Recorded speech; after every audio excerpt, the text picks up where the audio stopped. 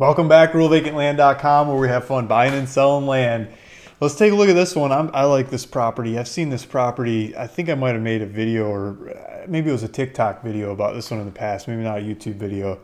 But uh, check this out. It's 115 acres. That's a lot of land. 115 acres. How long would it take you to walk around a 115 acre property? You know, it'd be a good walk. it's walking through the bush like that. Hopefully you got some tall boots on.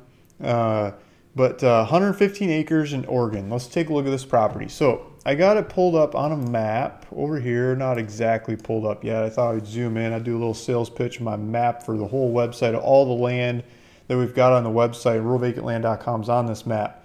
And uh, we're going to Oregon. So my hand disappears, but here we go. Oregon's up here. The property's in this general area. We'll zoom in on it.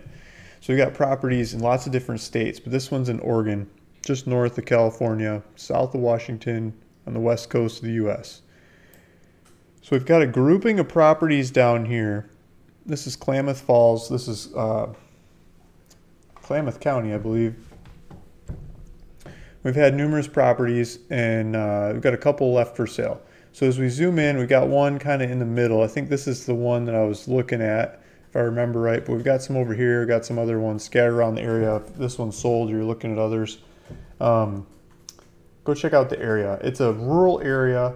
There's not very many people around.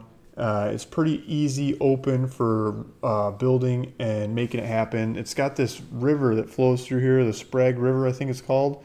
And if you look that river up, you see pictures of people like kayaking, which looks like I should just throw my kids in the car and go up there and go kayak. Maybe not this time of year, but the right time of year, go kayaking, take some fishing poles, so fly, I do fly fishing pole, maybe a spinning spin casting kind of rod for my kids.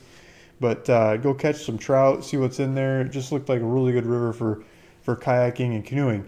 Um, so this property is not very far away from that. Let's click on it here. Yeah, here this is the right one. 115 acres, same picture I had in the background. So we'll click on that. We'll pull it up. The the owner of this property is Aaron English. Aaron English got his name and numbers, phone numbers up here great guy to do deals with. Give him a call if you have questions about this property or other properties like it. He's got numerous different properties. And um, his phone number is right up there. So if you're in this, watching this video on your phone, you can go down to the description of this video, click on the link, it'll take you to the website, and then it'll show you uh, his phone number on there. Click on it, and you can call him and start asking questions. So there is uh, he's got the financing up here. He's he's asking forty nine thousand seven seven nine, or five thousand dollars down and five hundred dollars a month. So he's got a payment plan. So you could do a payment plan on 115 acres. You know, that's a lot of land. So you could go make payments on it and have fun with it and go for it. So here's the property. Let's pull this up.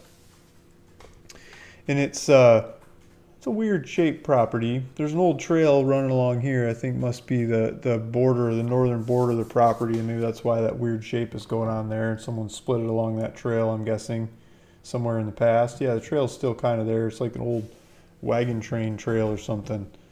But there's the property. I mean, that's a big, big, big chunk of land. You could ride horses around on there, dirt bikes, or shoot off fireworks. I mean, just go for it. Big, big chunk of land. Um, description says this property is ginormous. there you go. Uh, so we've got, uh, you know, you can click, click and buy it over here. You can click, click, put it on payments over here. We've got all the tax information, details of the property, so you can check it out with the county. We got GPS coordinates over here, so you can click on it and get driving directions to go out and see the property. We got GPS coordinates over here, so you can walk around the outline of the property and go tour this property, right? Might take you a day to go all the way around it. If you start at sun up and circle it by sundown, looking up GPS coordinates and stuff on the way, it's going to be a good long walk. Um, size 115 acres, and there's a legal description. The elevation is kind of 4,600 feet basically, and he's got a video about this one too. So Aaron made a video about it.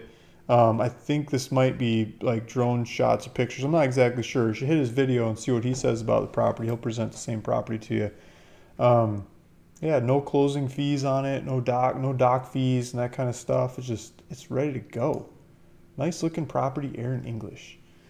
so if you guys are interested, Aaron English right there, hit it. Go talk to him about the property. Um, Thank you for listening. Thanks for watching. It's Luke Smith, ruralvacantland.com. Hit that subscribe button. I'll show you some more properties along the way. Thank you. Bye.